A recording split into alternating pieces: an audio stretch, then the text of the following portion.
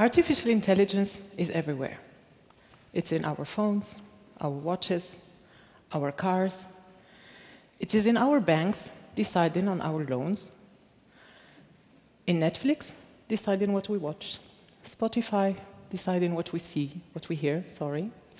And in Amazon, deciding what we buy. Artificial intelligence is even in beauty contests.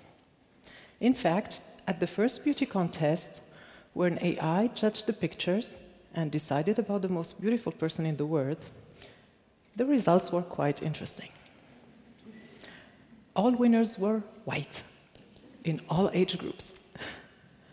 Not a single person of color made it to the finals. Now you may think, who cares about beauty contest? Were you're absolutely right? But AI is also in facial recognition software that is sold to law enforcement agencies. And in the United States, for example, the police is using this kind of facial recognition softwares. As revealed by an MIT Media Lab researcher, Joy Buolamwini, these facial recognition softwares perform very badly or very poorly on people with dark skins. In a video she called The Coded Gaze, she demonstrates how the same camera is able to recognize the face of her colleague, but not hers. The only way the camera would recognize her face is putting on a white mask. After publishing her findings and contacting, uh, contacting camera uh, uh, producers, Joy heard sentences like, well, the algorithms are not racist. Your skin is just too dark.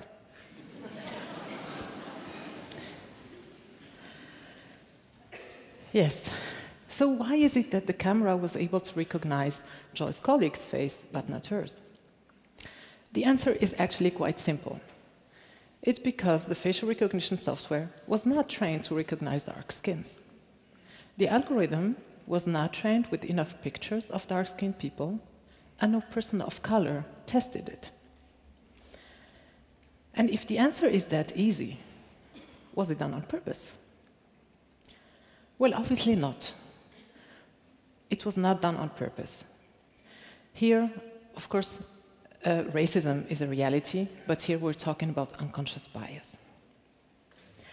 The person who developed this software, probably a white, young, male computer scientist, in a hoodie, developed it and tested it, and it was working. And the quality manager, eventually a white male, confirmed its proper function. So for them, everything was fine. For them. Now, let's have a look at something that is relevant to all of us searching for jobs. In 2015, a major tech firm realized that their internal job search engine was recommending highly paid jobs only to men. So, how did that happen? Well, you know, we have a gender pay gap, and women usually earn around 22% less than men for the same jobs. Plus, men usually have the higher and the more powerful positions with the higher income.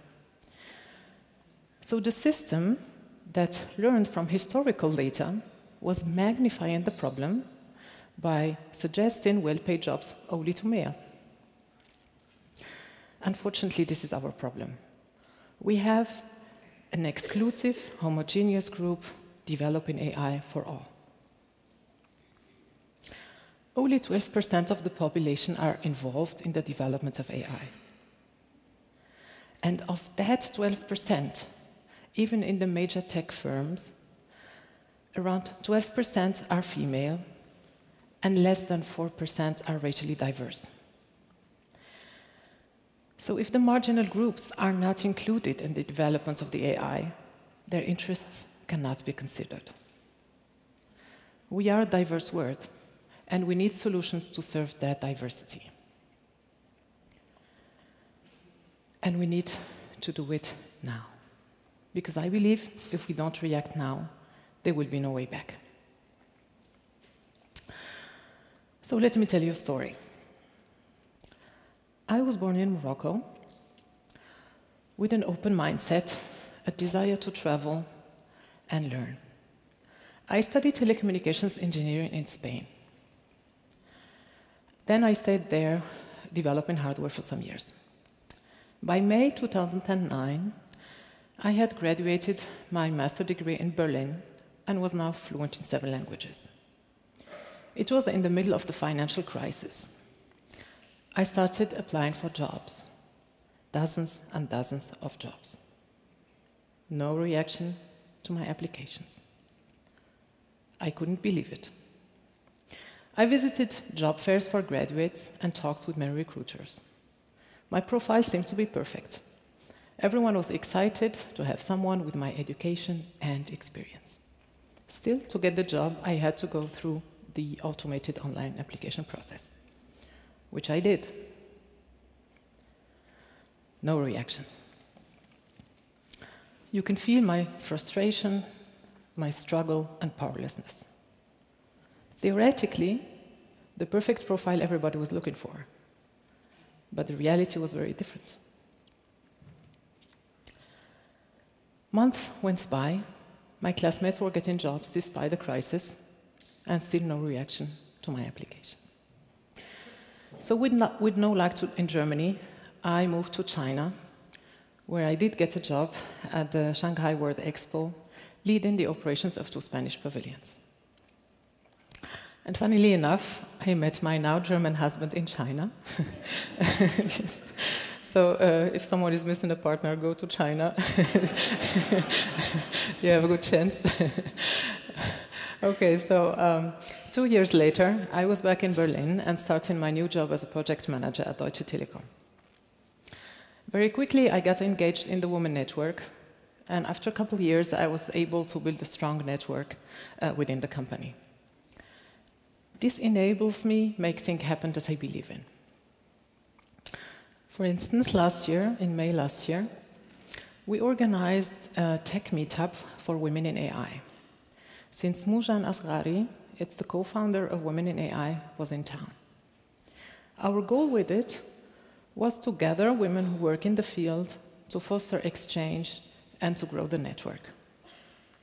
We were overwhelmed by the participation. The event was sold out. When we were setting it up, we were worried not to get enough participants.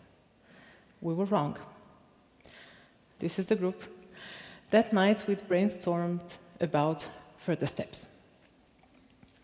And this is how the idea of an AI hackathon only for women was born.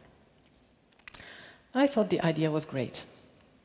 So I activated my network at Telekom, and very quickly I had four financial sponsors and 30 colleagues volunteering to organize the event.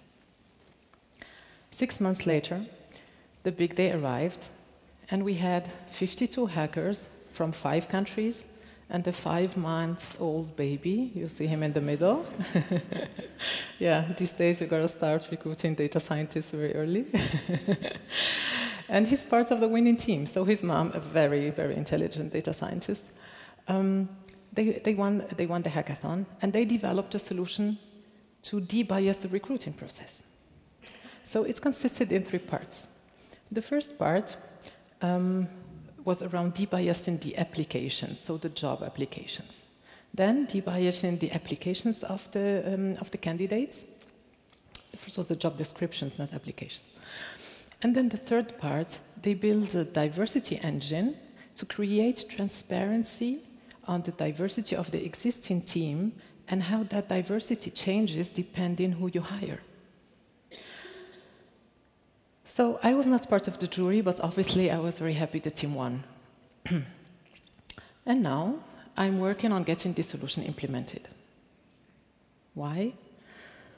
Well, not only because I believe this is right, but because I don't want other people to go through the same struggle I went through 10 years ago. So we need to build an AI to serve human dignity at its core. And for that to happen, we need to make it unbiased. And for that to happen, we need everyone to be concerned in order to be involved. So I hope that now you are concerned. The next step is how to get involved. We need computer scientists, data scientists, who think twice about what they are building, who consider that people different from them will also be using those solutions. We need lawyers who establish the right rules and regulations to serve human dignity and not commercial interests. We need lawyers who consider the less privileged in the discussions and, do, and to make sure they are treated fairly. We need psychologists to help us build the proper human machine interaction. We need sociologists who help us analyze the patterns of our social relationships that are affected by AI, who help the developers see the strange in the familiar, and who help them build an inclusive solution. We need philosophers, anthropologists, to talk about the ethical aspects of AI and how they are impacting our human culture. Technology has been dissociating us from humanities for the last century. It's the time for humanities to rise again. Last year, I started giving talks about AI for everyone, where I explain the basic methodologies of AI using simple pictures of cats and dogs and situations of our daily lives. My goal is to demystify AI and to democratize it. I believe AI is not only for data scientists, it is for everyone. So what started as a knowledge exchange, uh, a fun exercise, has now turned to be a mission. and my plea is, diversity is crucial to build a good AI. Everyone is part of this game. You are part of this game. You can do something about it, and the time to do it is now. Fortunately, I'm seeing great things happening already. So remember the, the beauty contest I mentioned at the beginning? At the second edition, they featured one person of color and 10 Asians. So it's a start.